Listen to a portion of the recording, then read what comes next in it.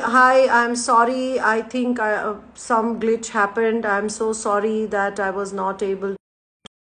Um, I'm live again. Is everyone there? Are my fo- hello, hello, hi. I'm so sorry. My apologies. My apologies.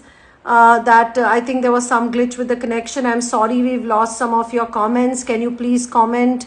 There was a mom, mom, uh, mom 2020, somebody whose comment I had pinned also. I'm while I'm still waiting for Niyatii to join there. I have Niyatii should be here. I'm sorry. I apologize. Can you please post your comments in the question mark box so that we can answer while Niyatii is still joining? Hi, I'm sorry. I think there's something with, I got hung. Network.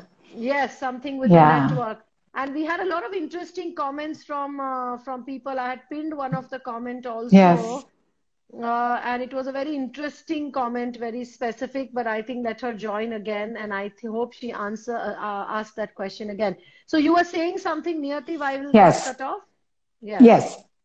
So I was saying that when you have to explain sex to children, if you are going to hesitate when you are explaining sex to children, they are going to all, anyways feel very awkward about it. So just explain it as if you are teaching them some scientific body part and body organs functions, right? Uh, whenever you want to explain sex, make sure that you have two illustrations with you, the male reproductive system and the female reproductive system. So that becomes very scientific.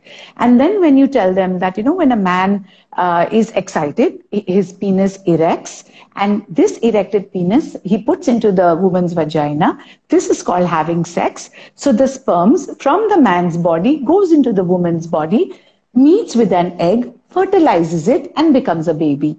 Right now, for this age, this short explanation is enough. They do not need to get into every explanation, every scientific understanding of this process.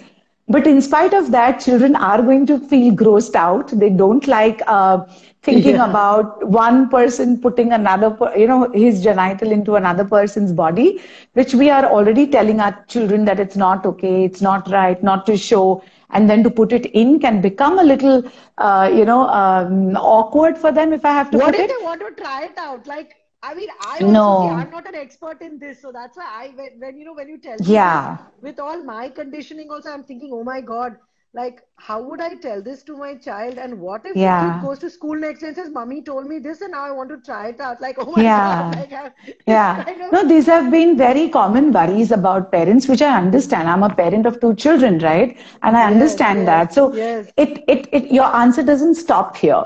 So after that, I think first focus on how they are feeling about it. That rather than worrying about the world, let it, let first worry about how child has taken it in. Um, so Hmm. how do you feel listening to it, or do you have any questions? So once it's once the child starts talking, like you know what, this is gross. I don't want to talk about it. You already know that the child will never try that. He's already grossed out about it. But if the child starts asking more questions, oh then what? Oh then what? then Oh then curious. then you yes the curiosity so this is where you get the sign that is this something that i need to worry about so that is where you can say but beta if this happens now it may be a white lie over here but you have to say but do you remember the safe and unsafe touches that we've spoken about? We do this only with that person who we want to share our lives with. So right now some parents do use the word husband and wife after marriage which is okay to one extent, but at the same time, that also can become a block uh, for this generation who's going to think differently than us. So I would say leave it open uh, and say that this is uh, for the partner you are going to share your life with. You can trust this person because you're going to become uh, you know you're showing your vulnerable parts to this person. So once you kind of like give that to the children see these children are very they're very small to understand all these things. Their minds are not going there. It's because the society is talking about it everywhere every Yes. tv show every cartoon every Yes. that adult child in the bus everybody's talking about sex Children are watching pornography at such a young age. That is why your child is asking. So keep the answer simple. Let them know that there are consequences, there are diseases, there's pregnancy, there's a lot that one needs to take care of. And uh, only when they are ready, after the age of 18, with the person who they want to spend their life with, who they trust with their life, only then go for it. So that is a good moral lesson to give. I think you've explained a whole lot of stuff. In fact, I would request people that if you are really seriously, uh, you know, interested in specific questions for your children, if you have one or two of different age groups, then I would really recommend join the workshop because yes, oh, here Niyatii has been answering all the questions also for all of you, and that's the point of doing this live. But if there are more detailed questions which you want to ask specifically about your child and this topic, which you are not able to ask on a social media platform, then please, please uh, do join the workshop. Uh, it is just one and a half hours for three days, three nights rather, 8.30 to 10 p.m., which is also suitable for my followers who are in the US Working. Um, or other places. Right now, let me continue with the question. So Bubbles is saying, how can we teach our children about good touch and bad touch? A very generic question, but Niyatii, is that something you can answer here? It will be a little tough because first yeah. you need to understand uh, see good touch and bad touch we've seen millions of videos and we've seen millions of uh, you know articles talking about it. So just simple information you already know. Even as a as a human being you know that okay do not touch here uh, do not touch yourself in front of public do not touch others don't allow anybody else to touch you but there is a specific way to teach your child because you want to keep the body positivity also in place. So for that, yes. uh, that will become a little tough to answer here. Uh, because I spent three hours explaining this topic to parents. So just to tell you in short, keep the body positivity. Like for example, saying um, your body is very beautiful and functional. It serves you very well. You need to protect it, and then teach them why it's sensitive, then how to protect it, how to yell, how to run, who to go to. So all this kind of becomes a bigger it's, topic it's a to. Long, it's a process. It's a very pro- very. It's not so something you can answer like on a chat or a comment. In fact, a lot of parents say that बस वहां से भाग जाना. अरे भाग के जाएगा कहाँ बच्चा? That also you have to tell them. Ah. you know correct, where correct, where correct. because that is where the confusion comes in for a child that if i leave from here where do i go and that is all happening at the back of the head. It's not like a very conscious thought. So these are the kind of things that we prepare our parents, like give them specific instructions. Tell them what needs to be done where. What are the very minimal thing that your child needs to know, like phone numbers, addresses. So, you know, there's a lot one parent needs to first and learn. also age appropriate, right? Like you had said, also age appropriate. Uh, Always your workshops that age because how you deal with a three-year-old would be very different from very say, different. a seven, eight, ten very year old different. from a fifteen-year-old. So I think that's yes. where it is important to do it in a more focused way absolutely of either uh, you know her talks or uh, workshops or whatever so one question that i think you can answer is uh, is it important to educate about this important part as soon as the child is about to start play school? Like what is the ideal age? A couple of parents are asking here. So yes so this is where the sexual develop understanding the sexual development helps. So during the playgroup age they are more uh, interested in playing. There are role plays you know the doctor doctor the home set uh, sometimes mm. they're lifting each other's clothes mommy, they're papa, pulling pants down. mommy papa because they see mommy papa exactly. and sleeping Yes. So, yeah, yeah, yes. Yeah, so those kind of things are going to be the role plays for them at this age. And there are certain behaviors like the kissing on the cheek or hugging or calling them darlings. So in today's times, honestly, I'm telling you, uh, children start talking about marriage from junior KG. They are oh only modeling, okay? They have no understanding of it it's just like, hi, now you are my girlfriend. We'll get married when we get when we grow older.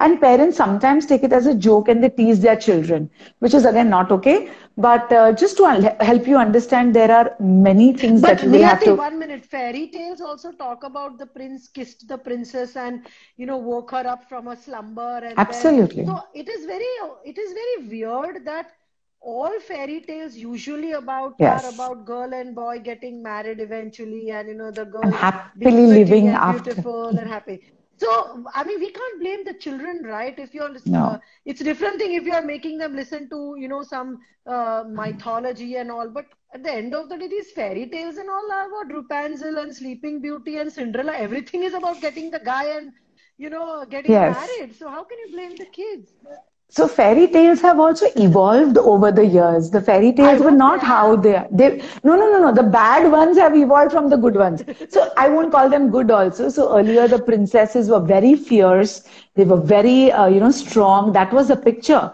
And slow and steady, I think somewhere the patriarchy took over and it's become all about the boy now. But I think it's a great idea to ask your child, do you think somebody can wake up just by a kiss? Start allowing them, teach them to think. Teach them to think. This these are the these are the ways you help a child to think. And tell them you know darling you, this is a story. It's not true. I would say just don't read it. Read the good parts of uh, cinderella's. You know how mahavir swami's like mom used to give me stories the ones that i that fit into that situation and there's context to it. So that is how you have to give stories you know. There has to be a context to it. And if you're reading stories to your children at night make sure that they are more moral based value based rather exactly. than uh, subconscious programming fantasy. Time, so let it not be the very fantasy based. Let them be real. Let them teach them. And night is such a vulnerable time for a child. Uh, you know, they are very, very vulnerable. They will ch- they will talk to you the most at night before sleeping. They will open up to you the most at night when they are sleeping. So that that time that you spend, you know, ten minutes, fifteen minutes with a child when they are sleeping, it's the best time to talk to your child. Uh, so this is the time when you kind of mold them. So yeah. Yeah, yeah. So I'll also add my two bits to it that when we look at the yes. structure of the mind, you know, conscious, subconscious, the subconscious mind, of course, in small children up to three, it's everything is subconscious, which means whatever yes. said, even in humor and sarcasm, goes straight in and literally. Straight but even as yes. they continue to grow up, even for adults, you know, just before we go to sleep, our brain, when we are sleeping, our brain waves are in delta which is a kind of a brainwave signal uh, which is measured by some machines on our heads. Now, when we are in a deep sleep state, we are not receptive to any suggestions. But before, just before we go to deep sleep, our brain goes through the alpha theta brainwaves, and that is when most suggestions go inside because our subconscious mind is most receptive to whatever you are exposed to when your brain is in alpha theta. It's a trance like state. And we naturally go in that state just before we go into deep sleep and just before we wake up in the morning. Yes. Same for children. Yes. So bedtime yes. stories are so important because all your subconscious reprogramming really happens there. So you might want to tell them bedtime stories that you know that that are empowering, that are positive, that are f- filled with the principles and values that you yes. want to give your child.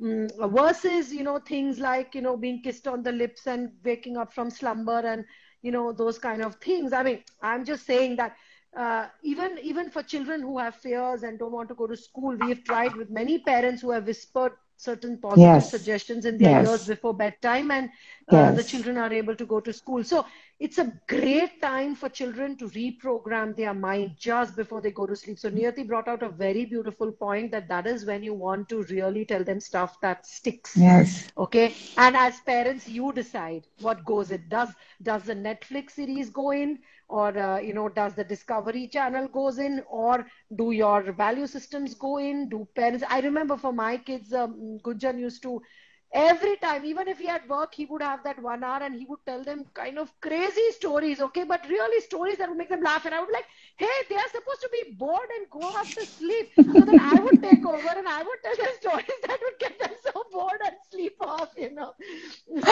This is a great yeah. time to uh, work with your kids. And i think yes. kids long after they grow up they remember that parents oh they do. oh they do. It, all that nice you're time. doing all that you're doing right now for your children is an investment and you are going to reap all the dividends and yeah, interest yeah, yeah. later. So, so, bedtime stories is a very uh, something you should take seriously and don't leave them to devices but use that time to reprogram your child with more positive suggestions. So sushmita saran is saying my question is from class 9 or 8 they are doing lip kissing school.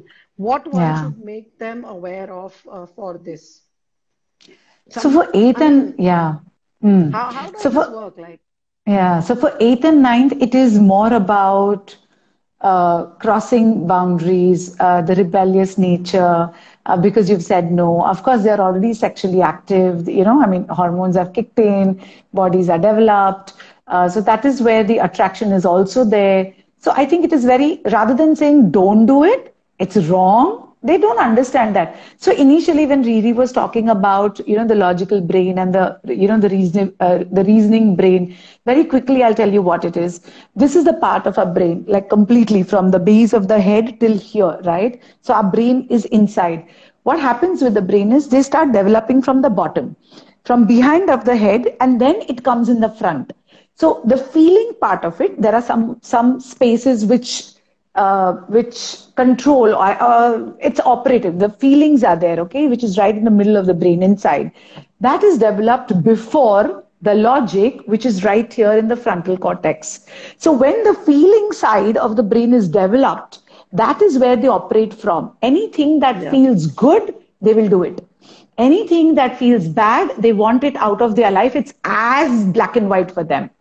So if you are expecting them to take logical, uh, um, you know, decisions, they cannot. Okay. Not because they don't want to, they cannot. And that is because this part of the brain develops the last, which is around 20 years of age. So please don't be in a hurry because they've grown taller, they've grown fatter. You think physically they've grown big, they are big, they are not big yet mentally they are still going to take some time to start making logical decisions. Of course some children a little early some children a little late but keep your patience. So they will act out of feeling. So eighth and ninth grades when they are kissing uh, one is there's a lot of pornography going on uh, you know in between children. They're watching it together and mobile phones are with them. I mean it's absolute free access to them. That's one reason. Two attraction is there. And they know this is the next step to take. So already the hormones are in certain place where they do feel uh, a very high sexual energy, which makes them do things also. And this is not their time to control every time. So not mm. not that I'm taking their side or defending them, helping you understand what they go through. But at the same time, when you keep hitting with the moral morals with them that this is not okay at this age, I understand you're going through it. I know you will want to feel like it, but you cannot. Please understand what can happen if you do. And that is where the lessons are learned. Some children will understand, some children will not listen to you. So keep a very close eye uh, on your children. Don't blindly just say that my children will not do anything you will not you know believe. What?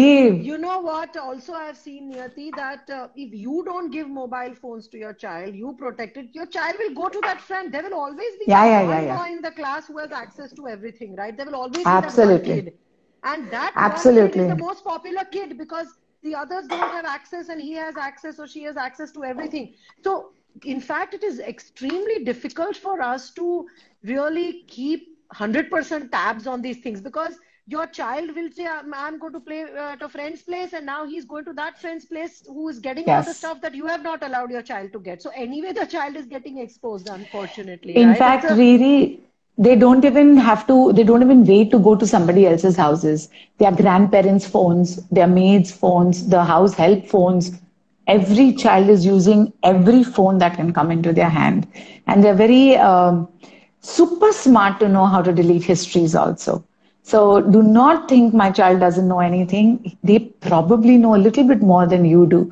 So, 100%. Uh, they are the generation. They can fool us any day. I know that. Day. Even the five year, six year olds, you know, we may be wiser, but we are not smarter when it comes to technology. Smart, technology. We are born in technology, which we yes. Have, we are late adopters, right? So, absolutely, yeah, absolutely. Well, so these are the reasons. So it is very important to teach, uh, talk to them about the consequences, tell them what can happen uh, if if they come together from every angle legal angle you know a society angle uh, their own physical angle their emotional angle the pregnancy angle there are so many uh, different things that you can tell them but it's important to talk to them Can't, don't blame them for what they feel and what they are acting upon just help them understand that why we are telling you to stay a little away or behave in a certain manner and be the yeah. you know be yeah. the well mannered children in a way if i have to put it that way. I think last last live also I had said that you know I have so many adult clients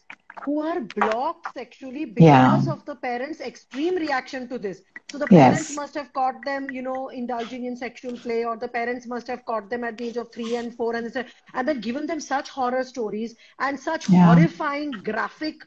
Uh, you know, uh, yes. fear-based descriptions of things that these children have got like blocked for life some of them like they yeah. say that we have those you know those visual memories even haunting us at the age of 30 and 40 like mother said you know somebody got raped and this is what happens and all i mean so yeah. as parents i think it is important to not overreact and not let your fears take over when you're dealing with these topics which Yeah. If you can't deal, then don't do anything, but at least don't take any extreme where you know you are either scarring your Yeah. for life.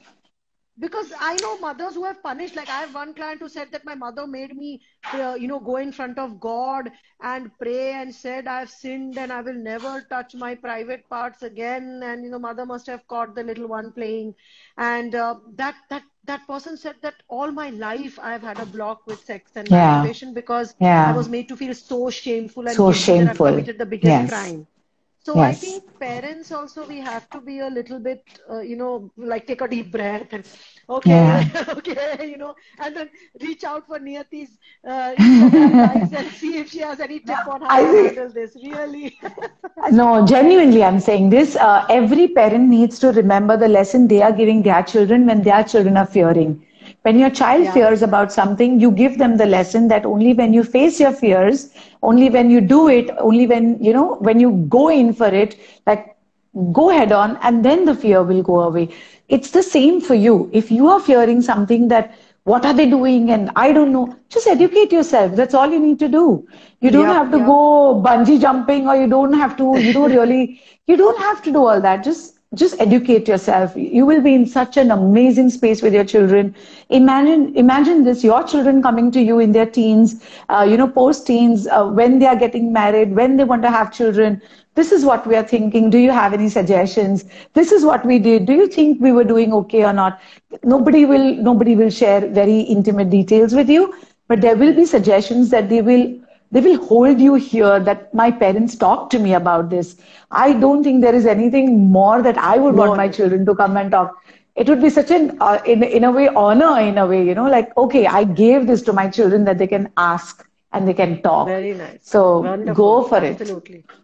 Uh, NK freelance something something long name saying one more important part is so this is a very important question this person has asked. We as parents never change clothes in front of our kids and teach them the swimming suit rule, which means private part should be covered. So is this really how it should be? Because again, I'm questioning because I've lived in Japan for five years, right, where there's the onsen culture. So in Japan, I know that mothers and daughters and women would be going into these public baths without a shred of clothing on them. So for example and even small uh, so so male female public baths are different. So so my kids have grown up seeing nude my daughter has seen nude women from the time she was a little baby right? Mm, uh, and it was very normalized. But even small like little kids who are 2 and 3 up to a certain age go with their mums. So my question is like this person has like said that in our culture we don't change clothes in front of our kids. There's something called like hiding your private parts or shame, but there are cultures where this is very, very normalized. In fact, in Yes. the, if I took my daughter to the gym, in the swimming pool, in a public swimming pool, community swimming pool, also in the in the swimming pool changing rooms or in the gym, the women are just uh, you know going around uh, without any clothes. So Yeah. is this, in your opinion, like where? How do we handle this? Is it absolutely no, no? How do we educate? Do we do? Please, please throw light on. Yeah, this, yeah, yeah. You can. Uh, can you? Okay, there it's gone. So, um, what used to happen earlier? So, I have also been with my grandmother uh, and my mother, like especially because you know uh, when we go for a pilgrimage, you know, Palitana and everywhere, where we are all together. The women have their own separate section. Everybody's changing there. Everybody's taking a shower. There are common areas of showers. But I have grown up also to see different bodies different bodies of different women. So I think when it becomes a community activity, it's okay. But when it becomes a one person thing, that can be a little troublesome because what happens is you've only seen one body. Now, if uh, now these are all speculations in a certain way. Uh, we have seen and we have experienced the truth of it, the honesty of it, the reality of it. That yes, when the children are young, they do get attracted to their parents of the opposite sex. Like the son get attracted to the mothers the daughters get attracted to fathers which is true. It's scientifically physiologically true. Uh, it's not that they are planning to sin or anything like that. It's just physiological if i can explain that to you. But at the same time when these communities, you know, when we are all together and everybody's minding their own business, there are no other activities going on, but it's okay to be uh, in your community and, you know, So see it's very all these. It's very normalized. very very normalized very So, Yeah, so that is why I think the mothers are very um, open and very, it comes very easy to them when they have to talk to their daughters, but they can't talk to their son. Huh. Because it's not normalized, right? Their bodies yes, are not normalized yes, for absolutely. us. Absolutely. No, no, I agree. I agree. I agree. And communities have their own reasons to keep us separate at certain times, especially when we are naked, especially when all of this. But then there are foreign cultures which we are exposing our children to, where there are nude beaches, when there are, uh, you know, beaches where uh, women are wearing bikinis. There's so many different things happening. So I think it's yeah. just a matter of yeah. giving them different perspectives. So should you change clothes in front of your children? I think after six, seven years, you can avoid it because that is what you want to teach them to continue later in society. That don't change with just anybody. Uh, but sometimes if you have to be in a community space and uh, you know there are there are certain places you can but there are certain places you must not so if you have four people right. in the room don't but if you have 40 people in the hall it's okay you know that, that is how somewhere it should be so i see young parents telling younger girls when they're about five, six years of age, when five, six years of age, that, that why are you feeling so shy? It's okay to change here. It's all aunties only. It's daddy only. But you don't understand. You were the same mother who told her not to change in front of everybody. Yeah. So that is very important for us to understand that we are conflicting also. You know, we are kind of like giving, giving them two them different messages. messages. Yeah, so that is something we need to understand. But at the same time, so I would say uh, distinguish. Tell them if we are so many, don't do it. But if we are many and it's women or only men and it's normal, then do it. So they need to understand that where it's okay and where it's not. Yeah, yeah, yeah, I yeah. I, mean, I, recollect, I recollect in Japan, Japan uh, it, was very, it was very different uh, for us in the for beginning, in the beginning but then we all got used to it, you know, like yeah, we yeah. Wouldn't even we wouldn't even blink an eyelid, like it was so normal for my daughter and me, like yeah. But I, I cannot tell you, uh, I, yeah, I cannot tell you really how grateful I am for my mom, my grandmother to raise me the way they did. Uh, for them, it was a religious angle, but I think what I also picked up was so much of normalization about talking about these things. So my grandmother used to call me like at least twice a week into the bathroom to scrub her back. You know, she's like, ah, okay, come, come, come. Yes, I've done that for my grandmother too. Yeah. And it was so yeah. normal to yeah. do that for your grandparents, to do it for my mom. So my grandmother for 22 years. And I have given her the bedpan. And I have cleaned her. I have done all that, you know. So I think so these kind of activities, yeah, these kind of activities bring that normalcy into the whole thing and not everything is sexual. You have no, a body multiple things are going to happen to you. I think it's time we draw a line somewhere and not put everything under the bracket of sex you know I think I think uh, even the nuclear family system has done away with some of these things. Yeah, like I remember yeah. I have my my grandmother was there, like you rightly said. Uh, when you said it, I remembered. Yes, we used to give her a bedpan. We used to, uh, my mom used to scrub her, and you know, uh, yeah, yeah, you know, give her a bath, and we used to be a part of that. So it was not very. Uh, women no. bodies were not. Yeah, I agree. Okay, Shikhar uh, is asking a question. Do we need to tell a 13, 14 year old child to tell him about masturbation before they have experienced it himself? Himself, or should we wait before he gets to know about it himself? I would say before. I will always say before. So get them ready because masturbation is again not just a definition that you're going to tell them.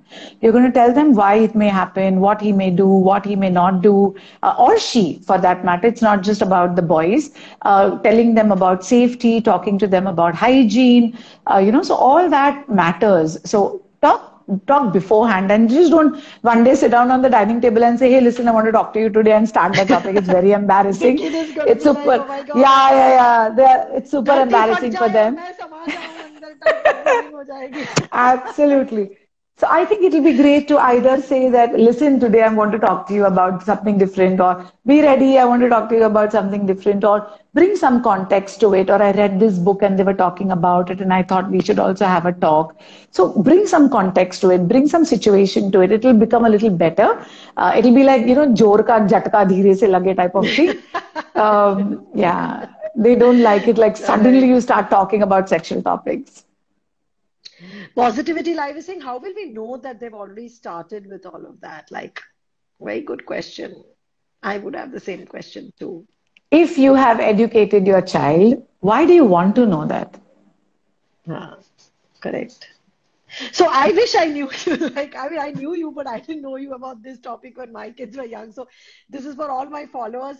You know, I'm hosting Niyatii twice all over. So because I've missed this part with my kids, with my daughter, I must have done a little bit of it much later. But um, uh, I have missed some of these milestones with my kids simply because, like I said, I was not aware. I didn't have the resources. I was not prepared, and hence I'm doing this so that you guys don't miss this out. Today, at when they are much older, I am still more comfortable talking talking about it yes. they want to run away. I know. oh, God, uh, you know everything. They say, we know more than you. What are you going to tell us? Today, today somebody told me this new word. I must say while it came up. You know, so there is relationship. Then there was this other word. So no, no, I forget. Oh my God, I forget. There's a new word, you know, which they have come up with. Instead, of, there is a, something called being in a relationship. There's something called the, a third word. I, I forget. I must uh, ask her and put this up on my post because this new generation comes up with all these new words, you know, and it's like, wow, I didn't know this. Anyway, There's a lot of slang. So yes, just finishing yes. that question, just finishing that question. One, yes. you have to understand these are very private moments, and usually these are not the things we discuss with parents. What you can do is one, first prepare them for it make sure that you've repeated it two, three times because again, one time nobody remembers. And maybe after a couple of years or when you think, you know, he or she is 16, 18 and you have certain concerns, you can ask about the concern. Don't ask whether do you masturbate or not. It's a very, very private question. And you will not be able to answer that if somebody asks you that, right? Uh, even, uh, so, you know, imagine your parent asking you, not every parent is as open, but imagine your parent asking you, Oh, so are you having sex yet? Like, are you okay with your husband or wife? It's going to be very, very awkward. So we don't discuss all these things like out loud in public and like a normal conversation. Teach them right, have faith in them, let them know they can come back to you whenever they have questions. And maybe in once in a six months or something you can always go back and check hey do you have any questions? I had taught you that but i was just wanting to uh, you know make sure that you're in okay space. Then again you can you know after a year or you can say are you okay? Is there something you need to help? So be be nice you know just be nice. Yeah yeah yeah yeah i get that. And so and respect question. their privacy. Yes last question for today's live because I think you've answered so many questions already. Um, M. Joshia Fale is saying, My child is 10. He has started talking about sex, talking about girlfriends, and like holding their private parts, ju- like just start of masturbation and peer pressure also building up. What should I do here? And uh, I think somebody else was saying, My son is 16 and he's asking if he can have a girlfriend. So, how do you really handle these things? I've not understood the first question very well. Um, holding each other's private parts and is he asking for permission? Is he saying that he wants to do it, or what mm. is it? Hmm. He generally having a discussion? So your your response will be, you know, based on that. Um, the second question about a 16 year old saying, "Can I have a girlfriend?" Um, my response to my child will be, "Yes, you can," mm. but I would leave it at that for that moment because I don't want to ruin the moment for him. But at the same time, maybe after a few days, I would question where the question is coming from. Is there a girl he's ah. already attracted to? Is there somebody mm. he hmm. likes but not yet approached? What is the situation? What's going on in his mind? Just to, to understand him better and to guide him better. So at that moment, I would say, yeah, you sure. I wouldn't be, I wouldn't get very excited about, yeah, yeah, of course you must, and this is the time. And, Ah, don't give all that encouragement. You will cry oh later.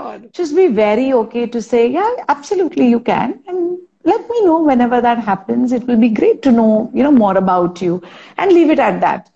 But then later you can ask, so what's happening? You were asking me about it. Did anything happen? Is there somebody in your mind? It's, you know, you know how moms can be or how dads can be, just curious about your life. So that way you can have a conversation with them and figure out a little more of what's going on but uh, be very okay to tell them it's okay. Yeah yeah. Well yeah thank you for my god i i also need to come for your uh, classes.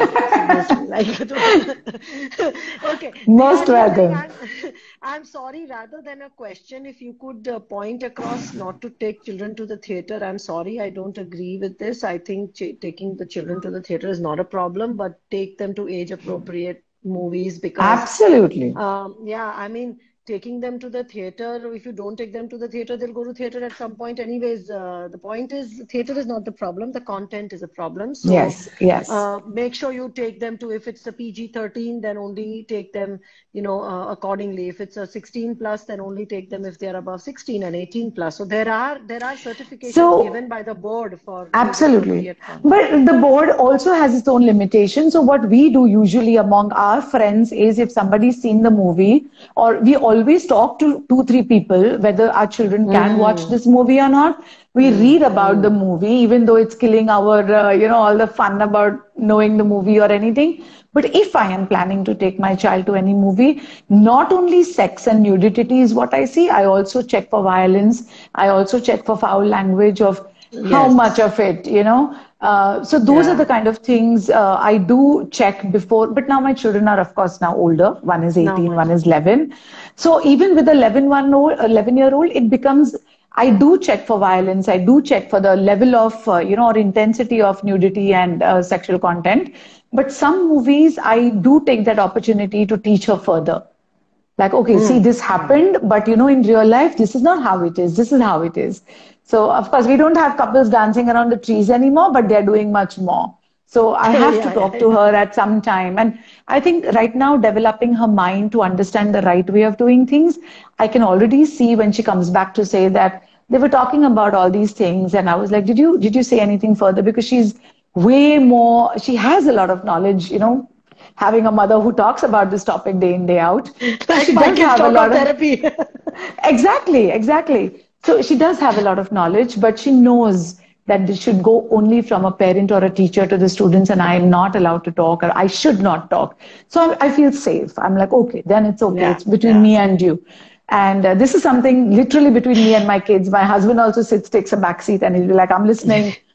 because some parents are just okay talking about it yeah, and some yeah. parents I might I think all parents have to talk about it. I think those yeah yeah. In my case also i have done whatever talking i had to do with both the kids yeah yeah. Because he also like you said he he's like no if you are comfortable you do it and that's fine oh, he he does he does he does come in later on once i've started the conversation he gets the flow he'll come in He's like, ha, ha, see exactly what mom is saying. Now let me explain it to you, which is very sweet because I love it when we all are sitting and discussing yeah. and talking. And so it's all like that. Yeah, yeah. yeah. So I think it's time to end the live. But one last question, which I found very interesting, because I've also posted about this in a couple of my reels, which is, uh, mm, uh, should we worry about, uh, so Shikhar uh, S underscore somebody's asking, should we worry about young siblings of 13 years age sleeping in the same room at night or do they need to be put in separate rooms? I still feel they don't have anything physical on their mind. So one i would like to i mean i don't know i could be wrong Niyatii is the best person but i would also like to say that i think sleeping eh, according to me sleeping in the same room shouldn't be a problem but sleeping on the same bed very close could be a problem. I don't know. Niyatii what is your point of view on this? So it's a very very of teens yeah, so it's a very, very thin line. Um, of course, uh, you know, um, incest is not uncommon. Um, yeah. It's happening, and uh, sexual bodies don't recognize relationships; they just recognize bodies. Okay, uh, so that's a that's a fact. That physiologically, that's a fact. So if ever, if the siblings don't have a very wide age gap, if you can see that both are growing up and all, then it's okay to uh, ask them to say that, you know, maybe we should sleep in uh, different rooms or it's, so incest is a even more taboo topic to talk about suggesting that there might be a relationship between a brother and a sister but explain if you've had conversations before it may not be so bad to tell them that you know at the end of the day this is physiology. So i wouldn't want you uh, both to you know come together in such a setup because of so and so xyz you know because, all the reasons and scientific reasons. Because at night exactly. accidentally you know the hand may go on the girl's breast or you know uh, absolutely on the boy's uh, uh, penis. And things may just start accidentally absolutely but we don't absolutely. know when it would lead to something else and i would also yes. say the same thing for parents sleeping with teenage kids like i of the opposite sex i mean when i posted this i had got like many many comments about saying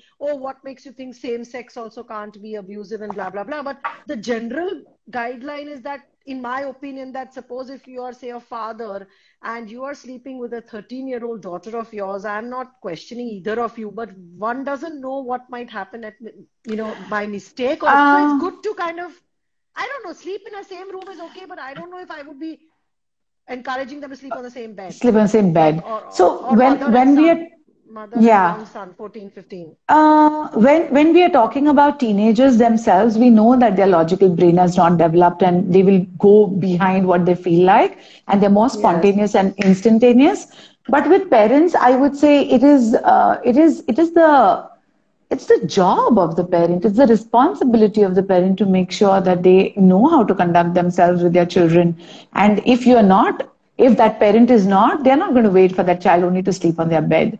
They're going to go and abuse that child any which ways. So most of the parents. No, that is true. No, that is true, Niyatii. But I've seen that accidentally it has. I've had clients who are victims. You've had clients. Which is why I've had. Yeah. Yeah. Are you coming out of experience? Or, yeah, yeah, yeah. Even mothers, like sometimes there is a very thin line between, you know, um, like where there is lack of awareness like you know like a 14 year old yes. son sucking the mother's cheeks or a 14 year old son giving the smooch to the mother on the lips now it yeah. happens once yeah. it happens twice but if this is repeatedly happening then for me yeah. as a therapist i think there is something wrong here it's not really healthy i mean not to judge but there are sexual connotations which people are not aware of sometimes you know and i think I don't know. I mean, I would always so, avoid these situations. I mean, father mother में तो trust होता है, but समझो अगर आप relative के यहाँ गए हो और आप yeah, so that too we are usually तो yeah. मौसी मौसी फूफी के साथ अगर सो रहा है रूम no, तो I think yeah. So I'll tell you something. These relationships, sexual sexual relationships between relatives, is more of a society setup than actual about anything else. The reason why we discourage uh, same blood not relatives I'm talking, same blood, to have sex is only because of the scientific consequences that may happen later. Not to the people, but if there are any offsprings or if there are children, they may kind of carry the genetics from the same bloodline and it's more, there are more chances that they are carrying all the diseases and they're carrying all of it from both the same bloodline. So that was main reason of why we keep the bloodlines differently and then so it was all about the, the, the offsprings that we would have this moral about not sleeping with parents or siblings or cousins or anything is more about the society setup so science is not saying anything else. Science is saying just be no, careful. it's not even moral. Yeah, not even moral, but I would just say from the point of view of abuse, possibility of abuse and incest. That's all. Risk. That's what I'm saying. If if if the any child who is not 18 years and is is being used for any sexual gratification, it's sexual abuse. As simple as that. Correct. As simple as that. Whether she was okay at 16 or whether she was not okay at 16 or whether he was okay at 17 or not. Till they are not 18, until they don't give consent, it is sexual abuse at the end of the day. So that is period. There's no two ways about it.